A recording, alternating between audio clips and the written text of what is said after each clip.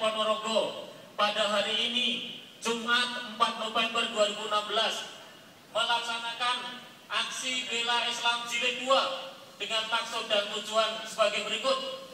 Satu, mendukung fatwa MUI yang menyatakan bahwa Basuki Cahaya Purnama telah menghina Al-Quran dan atau menghina ulama yang memiliki konsekuensi hukum.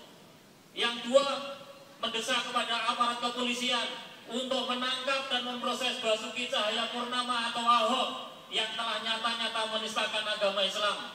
Yang ketiga, kepada aparat penegak hukum agar melakukan penegakan hukum secara tegas, cepat, proporsional, dan profesional dengan memperhatikan rasa keadilan masyarakat agar masyarakat memiliki kepercayaan terhadap penegakan hukum. Demikian pernyataan ini nanti akan ditandatangani oleh Presidium Forum Komunikasi Umat Islam Bersatu bersama dengan 50 elemen yang tergabung di dalam FKUB ini. Termasuk masyarakat yang ada di Madiun yang dari Pacitan terima kasih sudah bergabung bersama kita.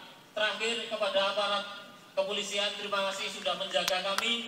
Pada Dewan sudah menemui kami terima kasih segalanya. Dan pada masyarakat Maroko mohon aksi ini tidak diartikan sebagai aksi yang anarkis tetapi lihatlah bahwa kita mampu untuk menunjukkan kita ini masih punya kepedulian punya rasa keimanan bahwa Al-Quran ketika diinjak tidak ada yang bisa menghentikan kita Allahu Akbar. Allahu Akbar. Sekian, wassalamualaikum warahmatullahi wabarakatuh.